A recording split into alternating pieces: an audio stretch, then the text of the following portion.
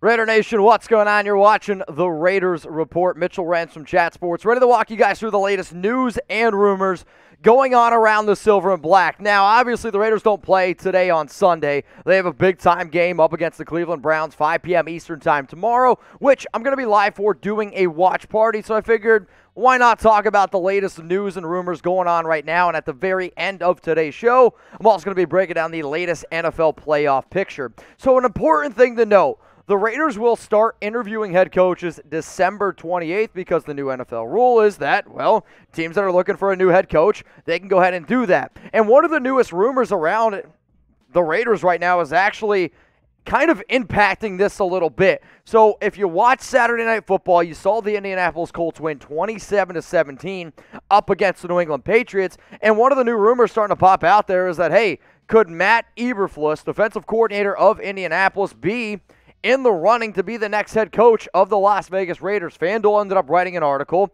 and I've seen some odds out there starting to put Eberflus pretty high. One of the guys I respect on Instagram, shout out to my man Scout, he said Eberflus is probably the top guy right now. So if you're looking for a defensive-minded coach, this would be a good hire. Eberflus to me is one of the younger, smarter, defensive-minded dudes in the National Football League. And if you are looking for somebody that you're trying to really truly build that defense, that's good. And then even last season, he was one of the guys in a lot, a lot of the top coaching candidates out there. So you guys let me know. Would you be happy if the Raiders went out and hired Matt Eberflus? I want you to go down in the comments section right now, type Y for yes, or I want you to go ahead and type your N for no. Would you be happy if the Raiders hired Colts defensive coordinator Matt Eberflus?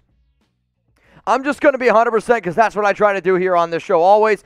My answer is not really, but I think he's a good coach. But wait, Mitch, why would you say not really if you think he's a good coach? I'm going to be breaking all of that down for you here in a sec, like around the top five reasons why I think it would be a good hire. And then I'm going to tell you why I think it would be a bad hire. In terms of it being a good hire, he wants to be a head coach. Believe it or not, I want somebody that is like has their mindset on big goals and has their mindset on being a head coach in the National Football League. He's a highly respected offensive mind.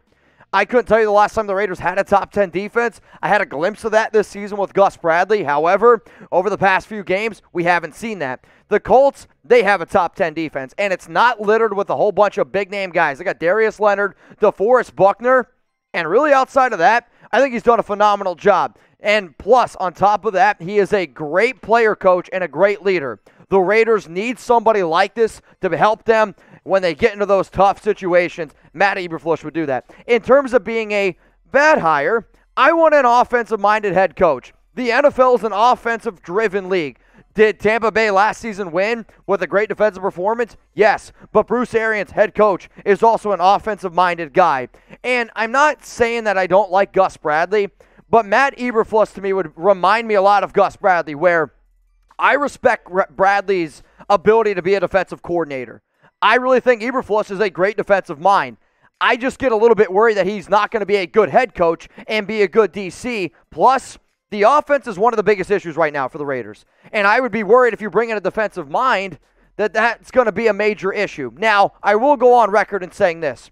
The only way I would be okay if you go out and bring in Eberflus is if your plan then is to keep Derek Carr because Derek Carr knows the Raiders offense. He knows the players around that, and he's kind of like that player coach. So if you're worried about the offense, keep Derek Carr for one more year. Let him finish out his contract at 19.9. But if your plan is to bring in Eberflus and then also potentially draft a quarterback or not sign somebody named Russell Wilson or Aaron Rodgers, I really think you're setting up your offense for a disaster, which is something that I'm sorry I do not want to happen. Now, I made a Raiders head coach candidates video last week, and we're going to continue to break down videos around Las Vegas. And if they decide to say, hey, we're going to go out and hire Eberflus, or hey, we're going to go out and hire somebody else, we're going to be making a live video. I can guarantee you that. Also, on top of that, we're 389 subscribers away from 100,000.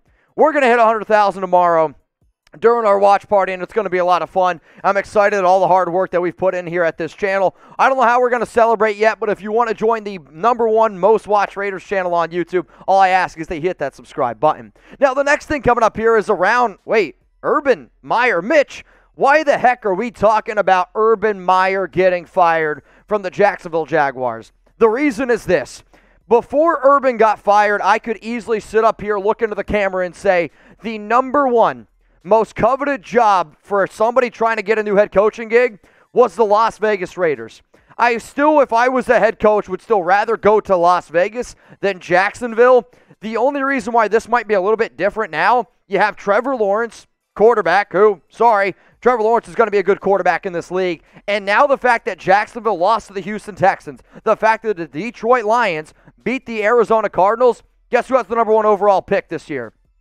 The Jacksonville Jaguars. So now not only do you have Trevor Lawrence, you have the number one overall pick. So could you make the could you make the decision of being like, you know what? Maybe Jacksonville's the better gig right now. So even though Urban has nothing to do with the Raiders, and if I get one person that asks me, Mitch, should the Raiders hire Urban Meyer? I'm going to go absolutely nuts. But here's the question that I'm getting to What's the better head coaching job right now? Because you're going to be going out, you're going to be looking at guys like Brian Daboll, Kellen Moore, Eric Bieniemy, and now if Eberflus is in that category of top echelon type of dudes, would they rather take Jacksonville or would they go with Raiders? So type LV for Las Vegas or I want you to type JAC for the Jacksonville Jaguars, which is the better head coaching job.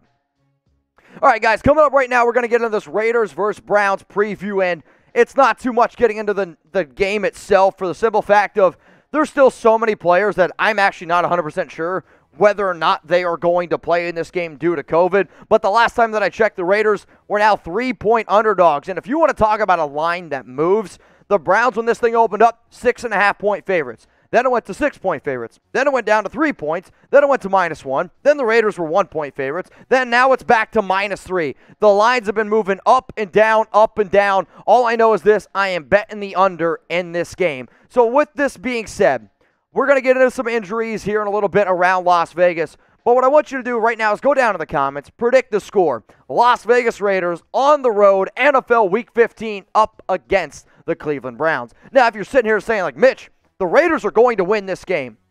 Okay, I'm never going to hate on y'all for betting on the Raiders. It's just, it's very hard to bet on them. But I did say this I will bet on every single Raiders game. I'm just betting the under in this one. So if you want to bet on Las Vegas to beat Cleveland, you can go ahead and do so. If you want to bet on them doing the under, if you want to bet on, I don't care, any NFL game the rest of the season, college football mania, go to chatsports.com slash Raiders. Promo code Raiders125. It's going to get you a 125% deposit bonus. Imagine a world where you put down $100, you get $125 for free to bet with. It's the best deal on the internet for no Chucky heads, believe it, baby. All right, let's talk about some key injuries here around the silver and black. Darren Waller, Denzel Perryman, Trayvon Mullen, they were rolled out on Friday. That was with the game happening on Saturday. Now, I was hoping, like, fingers crossed, like, all right, maybe the fact that the game got pushed back these three guys would be able to go. Unfortunately, they are not going to be able to play in this game. Other injuries to be able to keep you guys up to date on Carl Nassib, uh, Patrick Onwuasor, and then that's a picture of Foster Moreau. I know what it says. But Foster is going to be able to play. Patrick Onwuasor is going to be able to play. And then Carl Nassib, he seems like he's going to be a game time decision. In terms of what can you expect from the Browns, here's what the Raiders website had to say. Currently, Browns head coach Kevin Stefanski acting running backs coach Ryan Cordell and offensive assistant McCaney, is that how to say it? I can't read it. McCartney are positive for COVID 19. If they are unable to coach on Monday, then the Browns special teams coordinator Mike Prefira, head coach, and senior offensive assistant Kevin Rogers, running backs, will handle game day responsibilities for coaches unable to attend. So even though the Browns are going to get some of their players back, like a Wyatt Teller, which is going to be a major help,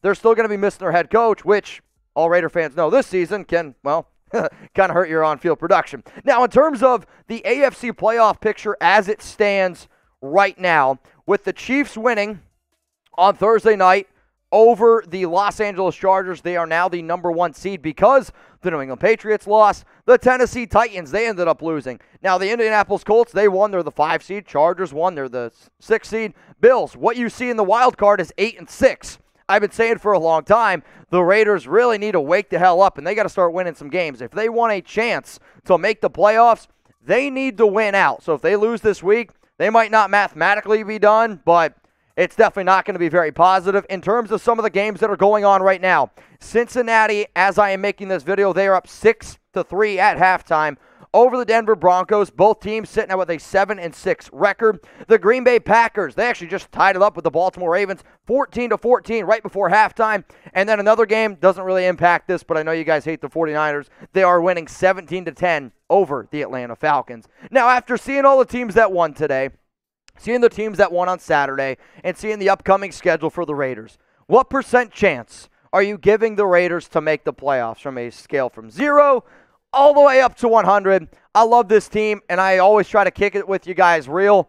I'm going to give them about a 1% chance. I don't really see them winning too many more games, especially because of how bad they have played. They've been a bottom five NFL team over the past five weeks. Five and one and five record, bottom five offense, bottom five defense. Now, if they can beat this team, maybe they can get their mojo going. Maybe they can finish out the season strong. But let me know down in the comments what percent chance are you giving the Raiders to make the playoffs, and it all starts tomorrow. And we're going to be live for a watch party starting 10 minutes before kickoff. So for everyone there, it's going to be 4:50 p.m. Eastern Time. Come join the Raiders Report. Hit that subscribe button. Turn on those notifications. That way, you don't miss tomorrow's show.